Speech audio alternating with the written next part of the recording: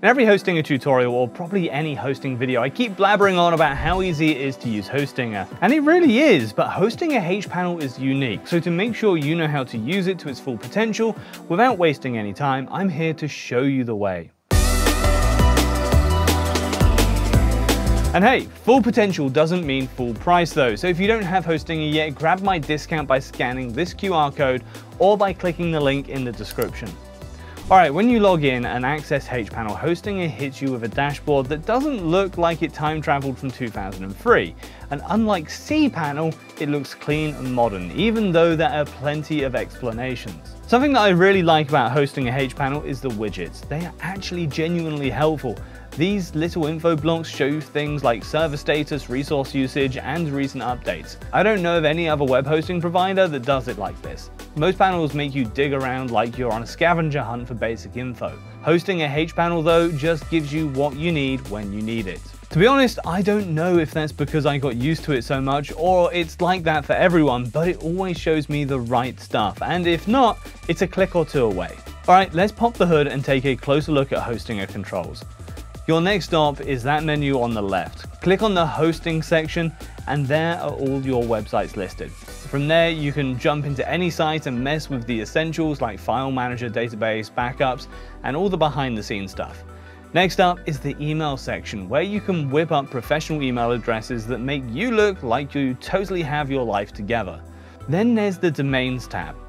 Here you can register shiny new domains, bring over old ones from other providers or tinker with DNS settings, if you're into that sort of thing. If not, or just not yet, no shame, you can always get to it later. The Websites tab helps you build and manage sites quickly, and if you've got VPS hosting, the VPS and servers area is where the more advanced stuff lives.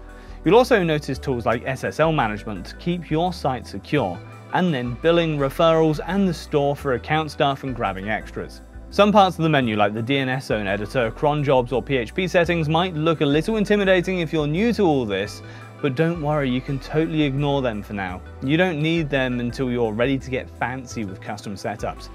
If you're using WordPress, which is still the most popular platform, you're going to appreciate how smoothly Hostinger ties it into their hPanel. There's a dedicated WordPress section where everything you need is right there. One standout is the staging feature.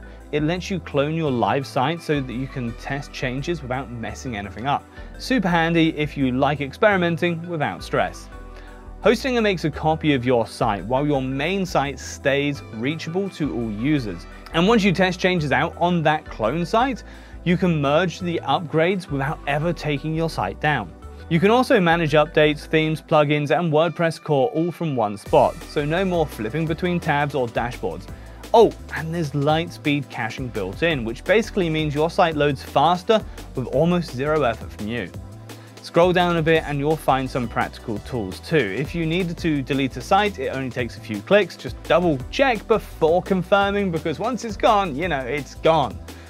You can also share account access with teammates or devs without giving up your login details, super useful for collaborations. In your profile settings, you'll find security options like two-factor authentication to keep things locked down, plus all the usual stuff like language, account info, and personal preferences.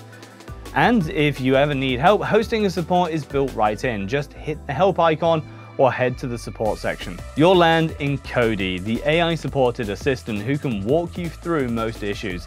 It's a natural language bot, so it will perfectly understand you even if you don't know technical terms. But if you need a real human, just type talk to human and you'll get connected. Okay, next let's answer some of the most burning and practical questions about Hostinger hosting that you might look for. Question numero uno, how to host multiple websites. Easy, go to the hosting section in hPanel, click add website, enter your domain and login details and yeah, you've got another site under the same hosting plan. You can repeat this for as many sites as your plan allows. Question numero, you know what, let's count in English actually. So that would be question number two. How to restore a backup? Simple. Head to the dashboard of the website that you want to restore, scroll to the backups tool, pick the date you want and click restore. You can restore files, databases, or both. It's all automatic, just a few clicks and you're back in time. Question number three, how to get a refund? Ooh, spicy one, right? Nah, not with hosting. You don't have to call them or phone or jump through a million hoops to get your money back. Instead, just go to your profile, then payment history, find the product you want a refund for, hit request refund. Introvert's paradise. If you're within the 30-day money-back guarantee window, Hostinger processes it pretty quickly. Next question, how to create and delete databases. Inside your website's hPanel, go to Databases, then MySQL. To create one, just enter a name, username and password, boom, done. To delete, scroll down to your existing databases, hit the trash icon and confirm. Yeah, that's it. We can go on with the next question, which is how to install a different CMS. Well, this one's to be a hard one. Just kidding. There's this auto installer tool in your website's dashboard. You'll see WordPress, Joomla, Drupal, and other CMSs listed. Click the one you want, fill in the setup details, and install. Literally takes under a minute. All right, question number, uh, I forgot. Anyway, the question is how to transfer a website. In your site's dashboard, go to Migrate Website, fill in the source details like FTP login from your old host, and let Hostinger handle the rest. And if your site is built with WordPress or Joomla, it's even easier. You just need to provide admin login details and hosting will transfer it for you. It's automatic, totally free. Now, I can't cover all possible questions on how to use Hostinger, so let's not drag it on any longer. But if you do have some questions that you uh, need to get answered, you can always drop them in the comments or just let me know what I should cover next. Or maybe just let me know how your day was, right? all right, well, let's wrap up this hPanel tutorial. Reminder that if you still don't have Hostinger, you can grab my best deal from the description. Thanks for watching. Don't forget to like, subscribe, and, you know, just continue being a decent person. Until next time, peace.